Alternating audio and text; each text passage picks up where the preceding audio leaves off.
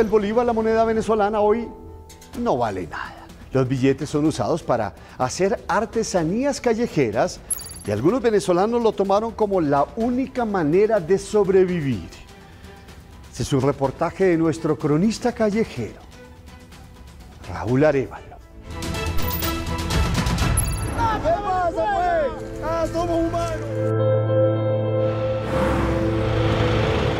La inestabilidad, la hiperinflación y la crisis económica son las principales causas del éxodo venezolano. Buenas tardes por acá, mi y con lo que yo pongo en su corazón un caramelito. Todos ellos convertidos en emigrantes a la fuerza, con una moneda que hoy no vale nada. Es un paso que damos para una nueva estabilidad del país. Lo tengo de colección. Dale pues, pana, tranquilo. Un billete que antes servía para comprar carne, leche, agua, cebolla, productos de primera necesidad, hoy no es más que un papel que ha perdido todo su valor. Este es un trabajo que se hace con la mano. El ingenio y el rebusque los llevó a hacer pequeñas obras de arte con una moneda que hoy solo sirve para hacer manualidades callejeras. Estos son billetes que ya no sirven. Nosotros sí este, los servimos aquí pues, en artesanía y eso.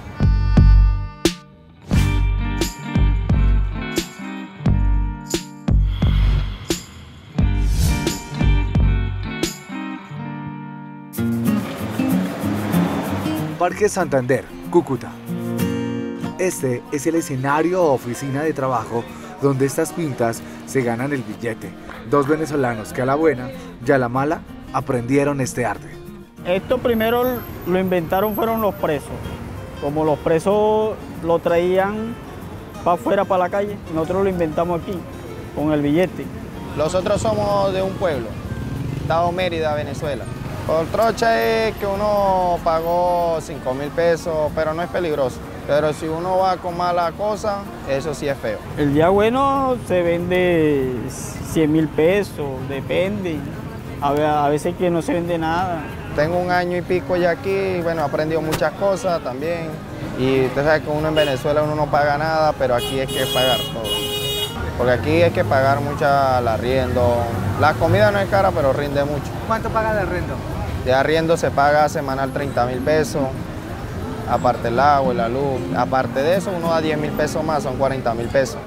Este es puro de mil, ya no vale nada ya. Billetes que se convierten en dinero de juguete para ganarse el día. Actualmente la moneda bolivariana se ha devaluado un 86%. En este paquete llevamos millones en moneda venezolana, que pesan 11 kilos.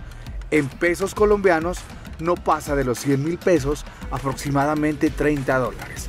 Materia prima que hoy se convierte lamentablemente en esto. Aproximadamente 600 billetes a 2000 el kilo. Este es un, gancito chiquito.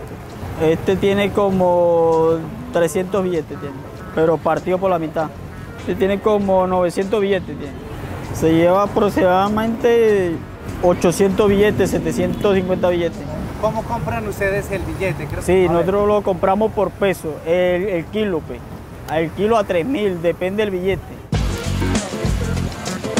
El costo de este bolso es de 13 dólares y se necesita alrededor de mil billetes de 100 bolívares para armar este accesorio. Esta bandera, la que yo hice más grande, se lleva 900 billetes. La de Estados Unidos se lleva 820 billetes. Barcos, carros, motos, armadillos, llaveros, carteras, perros y hasta gorras son los billetes que se transforman en obras hechas a mano. Yo espero que Venezuela se arregle, no voy a poner dos años, ¿no? Pero sí se va a arreglar. Yo no me voy. Colombia es muy bonito. Siempre uno hace algo para buscar y pagar el arriendo y uno vive tranquilo aquí. Pero allá en Venezuela con 30 mil soberanos comerá un solo día. Pero aquí uno con 30 mil pesos sí come 3, 4 días el rebusque venezolano que hoy se multiplica por todos lados y que hoy se busca el dinero que irónicamente no vale nada en el país bolivariano. Vienen gente de afuera, mira los billetes de Venezuela. Retratos y radiografías de una economía venezolana que hoy está en saldo rojo.